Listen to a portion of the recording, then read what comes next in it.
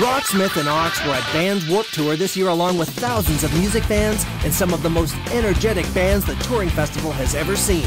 We wanted to give them a preview of Rocksmith. This is what they had to say. It's a really, really cool game because you actually get to play guitar, which is something you've never been able to do before. I like that you get to use your actual guitar. You can plug in any of your guitars that you want to it. This game is so awesome. I like don't want to leave.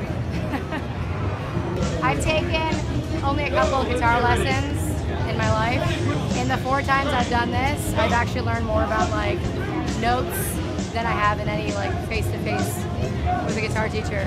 It teaches you to play guitar. It's, it's genius.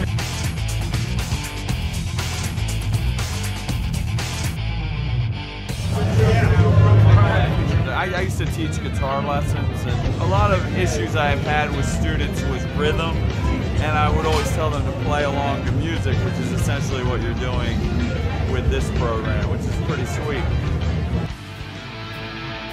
It's just a game that they're playing, but when they're done, they'll have some muscle memory that they wouldn't have had before.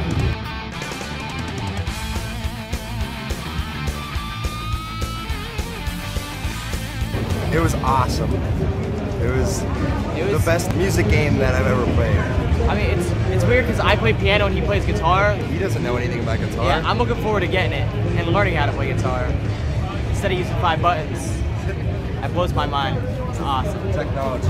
Technology.